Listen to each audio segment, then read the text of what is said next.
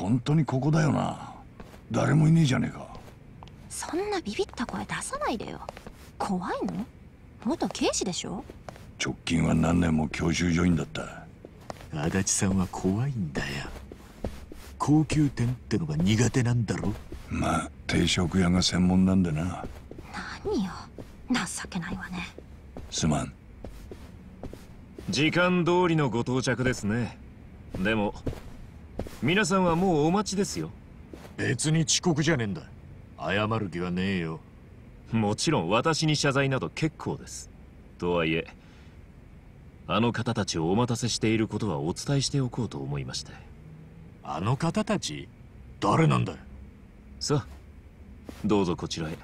ご心配なさらずに春日さん。今ここに危険がないことはこの反順義が保証しますさっき俺らに銃を向けてたおめえに言われても信じらんねえな。ここは肉の壁の外です。先ほどとは状況が違います。お分かりで？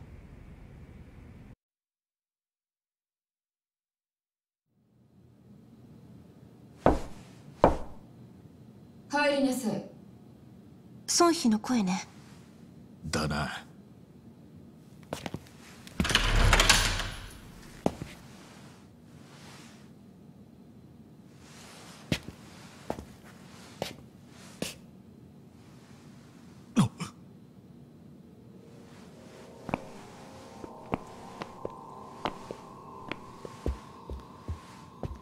やあ春日君元気？超。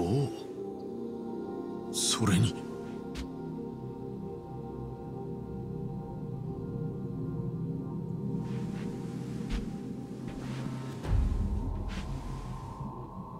何？あのおじいちゃん誰なの？こら奴は星野竜兵清流会の会長だ。ということはじゃあこの3人は？偉人さん。そのトップ全員がこの場に揃ってるってことだ。春日よ。これは一体どういう状況だ？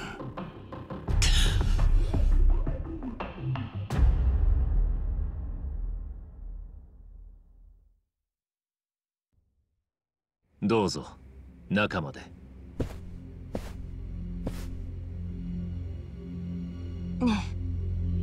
中じゃなかったの？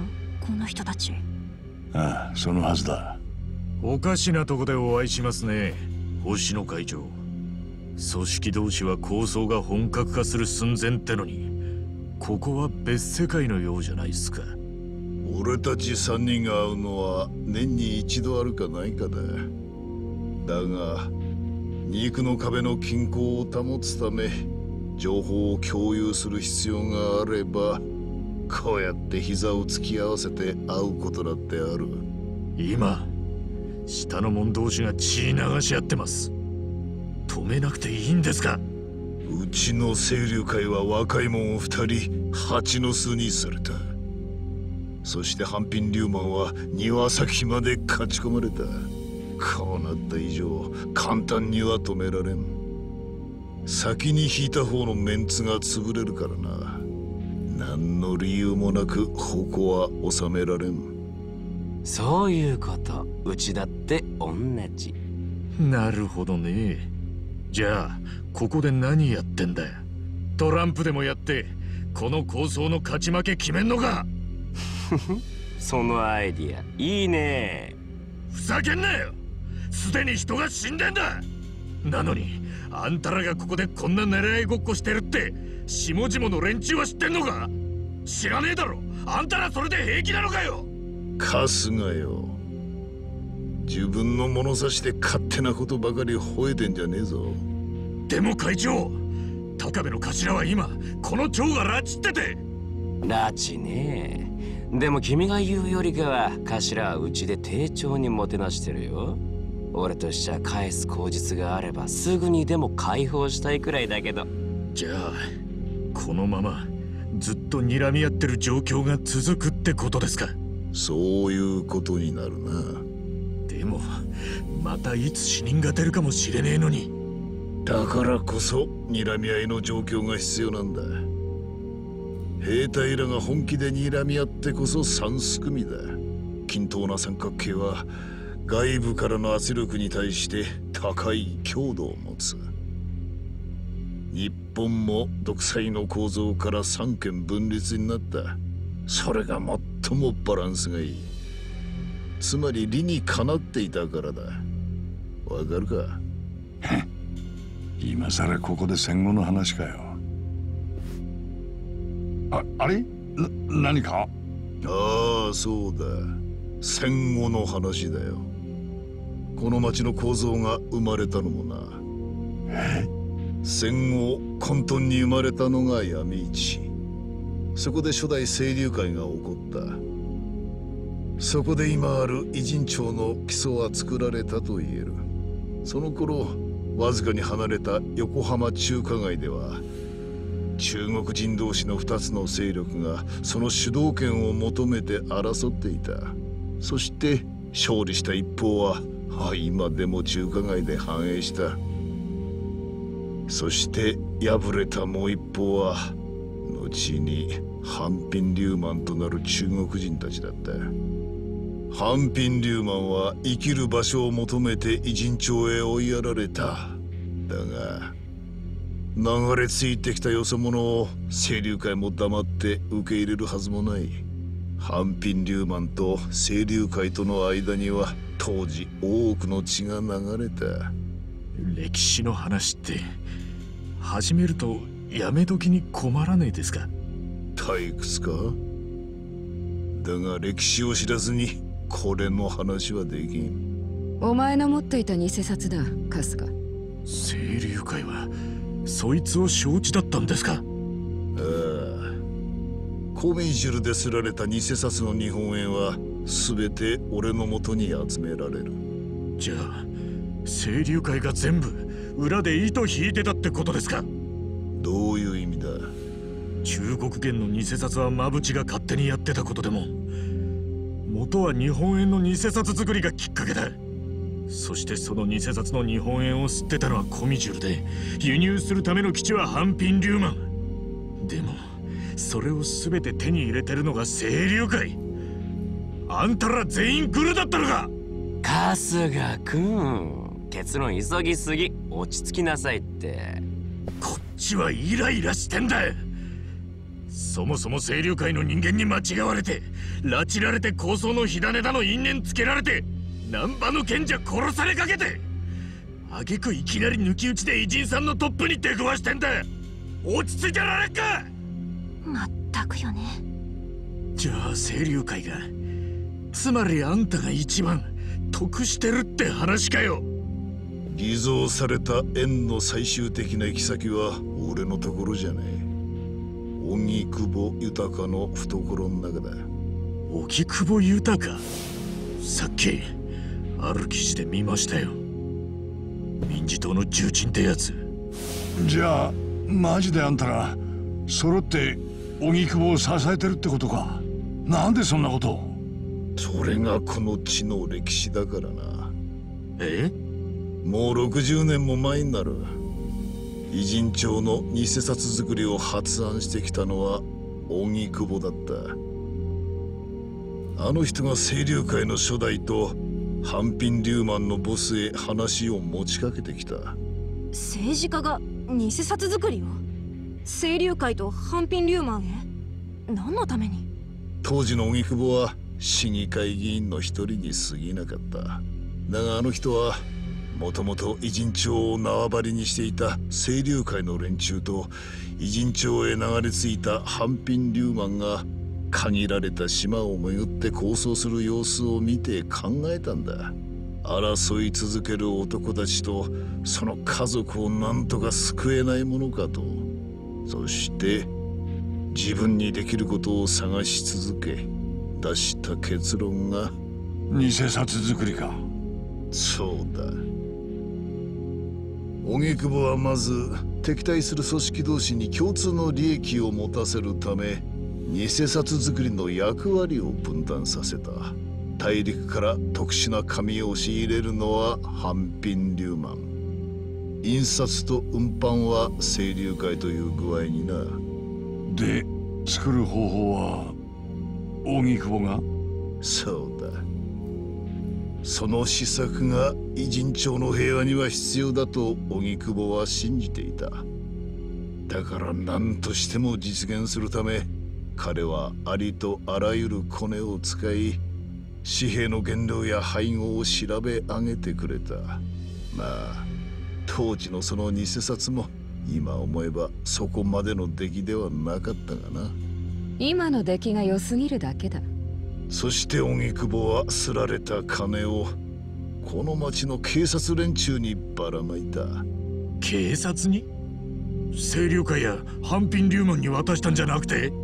金を渡しただけで争いは減らん。根本的な解決にはならんのだよ。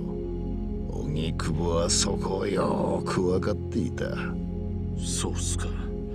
じゃあどうして警察に金を？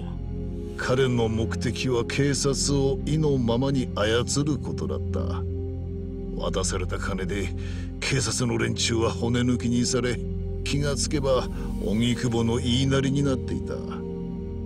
そして荻窪は警察に偉人町のある区域を中心に取り締まりを厳重に強化するように指示を出したんだ。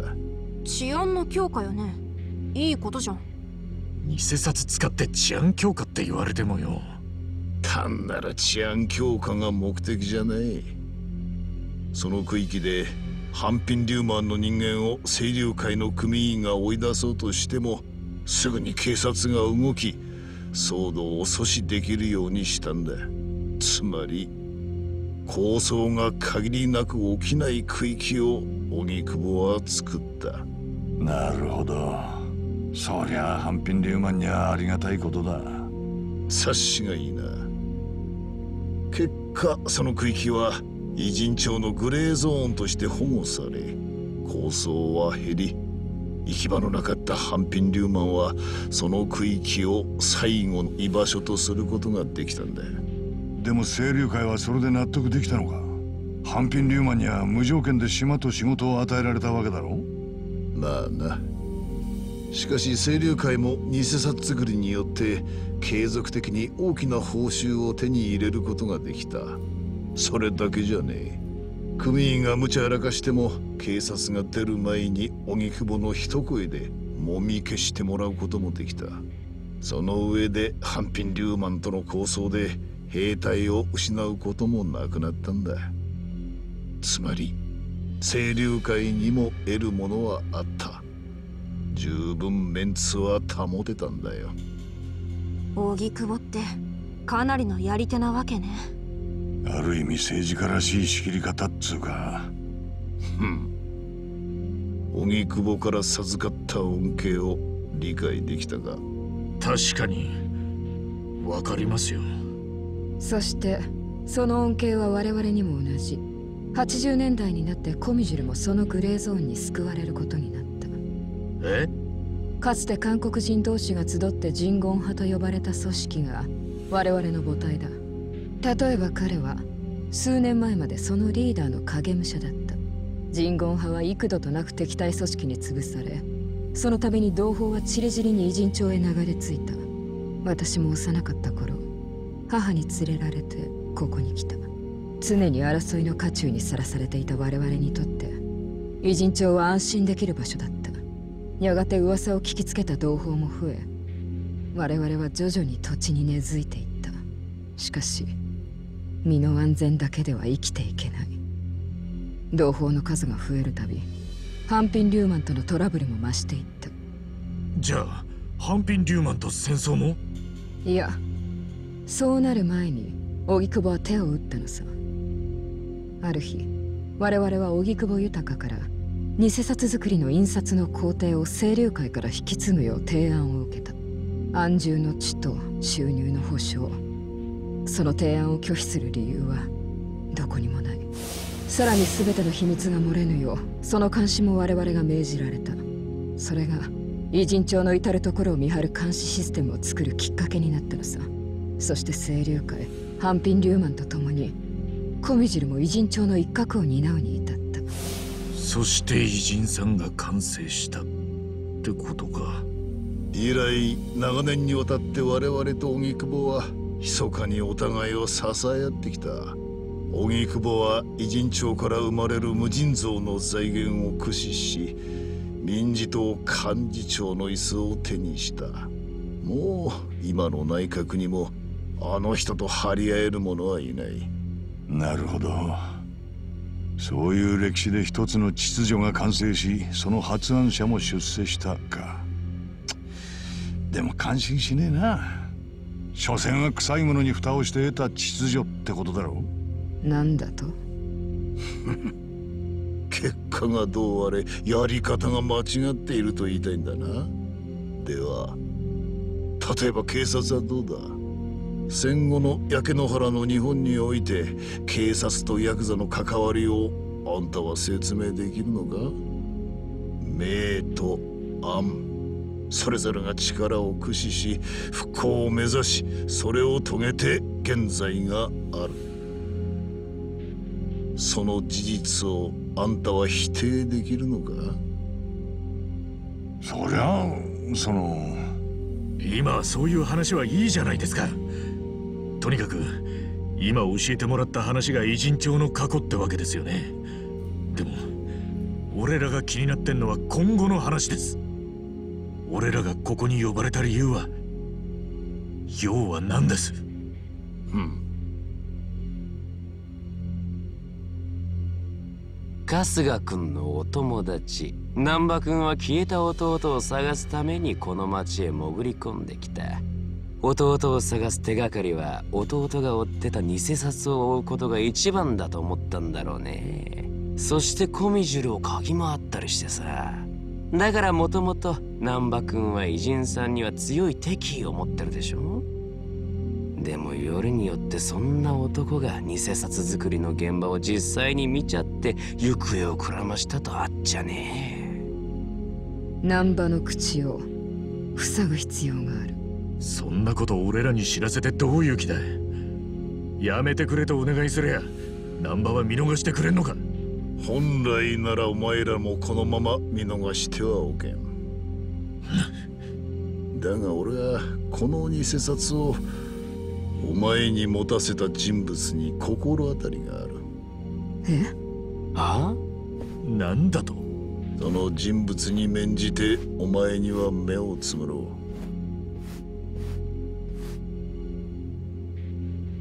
誰がこの偽札を俺に？どうしても教えてほしければナンバーを捉えてこい。お前ら自身の手でな。なんちゃんを？でもそんなことしたら。そうかい。春日。だったらお断りだ。ダチを売ってまで知りてえことなんざ何もねえ。それで話はしまいかい。もしもの話偽札の秘密が漏れれば肉の壁は力をなくす。偉人町のグレーゾーンは消えてなくなるんだよね。困るんだろうな。あんたらはな。肉の壁は治安が怪しい反面何らかの理由で追われた人間にとってはここが最後の安全地帯ってことって説明したよね。ああ聞いてたぜ。鈍いね。ここに入ってこれない連中ってのは東上会や近江連合もそうなんだよ。つまりここのグレーゾーンのおかげで命拾いした人間の中にはさ春日君も入ってんじゃないの？あ？カムロ町で撃たれた後お前は肉の壁にいたからこそ近江のとどめを刺されずに済んだ。なるほど。へそうくるかい。俺にはこの町に借りがあるってかあんまり人事みたいな顔してるからさ。意地悪言ってみたくなっただけ。くそ。でもやっぱダチを売るような真似は待て。断る前にもう一つ大切なことを言っておく。何です？難波にはすでに資格を放ってある。なんだって？資格って誰だはーいうちが引き受けました。ハンピン・リューマンが？しょうがないじゃん。まあ捕まえてもできる限り苦しまないように始末するようには伝えたよ。ただうちの子たち最近仕事が荒いんだよな。てめえ止めさせろ！そりゃ無理。俺は偉人さんのために始末する方に一票だから。どうする？放っておいたらナンバー死ぬぞでも連れてきても殺すつもりでしょ？お前がナンバーをつかめろ。半品リューマンよりも先にな。いやそんなこと言われたって場所が。それなら私の方で目星がついています。この先はお前次第だよ。春日一番。とにかくまずナンバーを死角から救うのが先ってことか